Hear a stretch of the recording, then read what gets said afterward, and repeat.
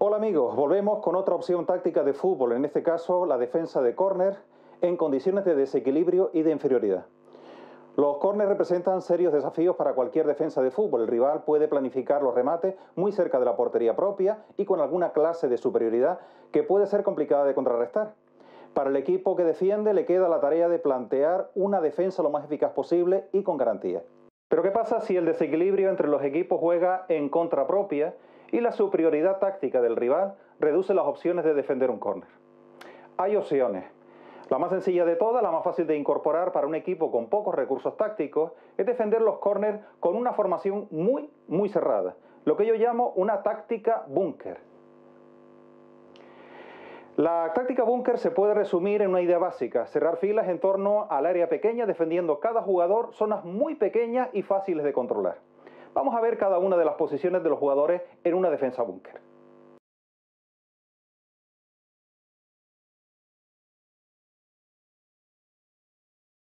Posición de los jugadores cercanos al córner. El sistema de la defensa búnker para los córneres propone colocar dos jugadores cercanos al saque de esquina uno en el límite marcado por la raya exterior del campo para evitar los lanzamientos colocados y directos a gol, y el otro ligeramente separado a la izquierda para impedir que el jugador que saca pase a otro compañero y abra ángulo para lanzar.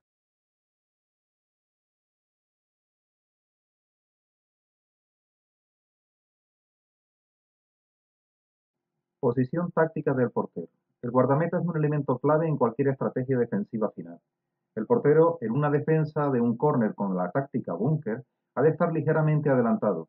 Dos jugadores en los postes le permiten estar razonablemente a salvo de los goles olímpicos. El portero ha de estar adelantado y orientado hacia el saque de córner y muy atento a los movimientos de los atacantes rivales. Posición de los jugadores en los postes. Dos jugadores se colocan en los postes de la portería para evitar el comentado lanzamiento directo con efecto. Para colaborar con el guardameta la defensa inmediata del marco, y salir al encuentro del balón de los rivales para arrebatarles la posesión y para romper sus jugadas y la continuidad de su juego. Hay que trabajar la coordinación entre el portero y estos jugadores que hacen de falso guardameta para que no se estorben en su trabajo defensivo. Posición de los jugadores en la defensa del área grande. El objetivo es situar a cinco jugadores entre las dos áreas o muy cerca de la raya frontal del área grande para cerrarla. Estos jugadores en modo alguno pueden permanecer estáticos, han de estar muy pendientes de los rivales contrarios que se sitúan dentro del área. El área grande de un campo de fútbol tiene 665 metros cuadrados y los cinco jugadores defensivos del perímetro de la defensa búnker deben hacer frente a las amenazas adaptando su posición a cada situación que plantee el rival. Es muy importante trabajar las formas de reaccionar para conseguir automatizarla. La reacción correcta décimas de segundo para estos jugadores es una ventaja.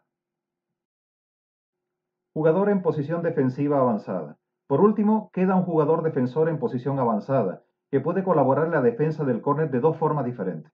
Una, reforzando la defensa exterior del sistema, colocándose en el punto más vulnerable. Y dos, marcando a cualquier jugador contrario que amenace con recibir el balón fuera del área y rematarlo desde lejos. El jugador en posición defensiva avanzada puede formar parte de un contraataque rápido si se trabaja también una transición de juego rápida defensiva-ofensiva. Veamos cuáles son las ventajas y cuáles son las limitaciones de la táctica búnker para la defensa en los corners.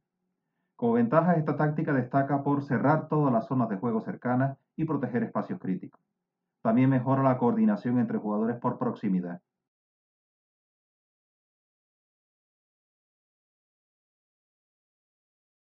También existe una serie de desventajas nada despreciables.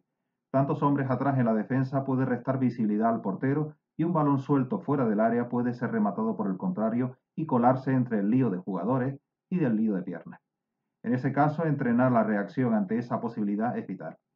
Los marcajes en zona en defensa impiden marcar al hombre, algo que puede ser un hándicap en situaciones en las que el rival destaque por arriba o en el regate en corto.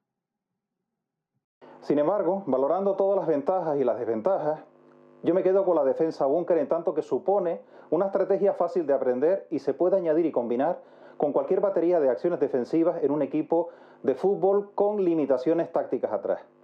¿Qué te parece el sistema de juego? ¿Cómo lo mejorarías? Me gustaría leer tus opiniones. Síguenos en YouTube, suscríbete a la sección de tutoriales del canal. Tenemos mucho que compartir.